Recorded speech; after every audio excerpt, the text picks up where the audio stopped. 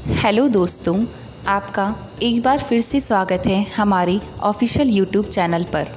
आज हम आपके लिए लेकर आए हैं स्टीम बॉयलर से मावा खोआ बनाने का प्लांट दोस्तों, यह वीडियो उन लोगों के लिए है जो दूध का बिज़नेस करते हैं।